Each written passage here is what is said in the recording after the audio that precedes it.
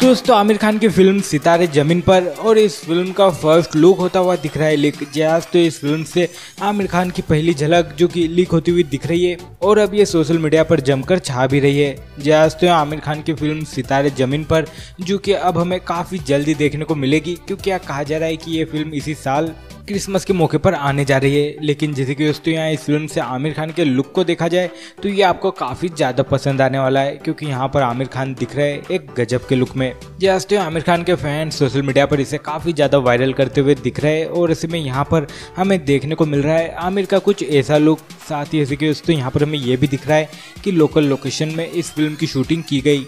साथ यहाँ पर आमिर जो कि लोकल स्टोर पर दिख रहा है और वो कुछ इस लुक में, जहाँ पर क्या आमिर की हमें मूछे दिख रही है। साथ ही आमिर का लुक जो कि काफ़ी सिंपल दिख रहा है। लेकिन जैसे कि दोस्तों, ये काफ़ी ज़्यादा कूल तो है ही। यानी कि दोस्तों, एक बार फिर से आमिर खान जो कि हमें एक बेहतरीन लुक के साथ ही एक बेहतरीन किरदार में दिखने वाले हैं। और इस बार आमिर खान, जो कि कोई अलग और अतरंगी चीज़ नहीं करने वाले, बल्कि वो पूरी स्टोरी पर बेस्ड एक फ़िल्म कर रहे जहाँ पर कि सारा का सारा खेल उनकी एक्टिंग पर ही रहेगा। तो ऐसे में दोस्तों फ़िल्म सितारे ज़मीन पर, जिसे सुनकर आपको कहीं ना कहीं याद आने वाली है तारे ज़मीन पर की, और आमिर खान की ये फ़िल्म सच में एकदम कमाल की थी। तो ऐसे में इस फ़िल्म से भी वैसी उम्मीद लगाई जाएगी। लेकिन अब फ़िलहाल तो आमिर खान का हमें लुक देखने को मिल रहा है फ़िल्म सितारे ज़मीन पर से।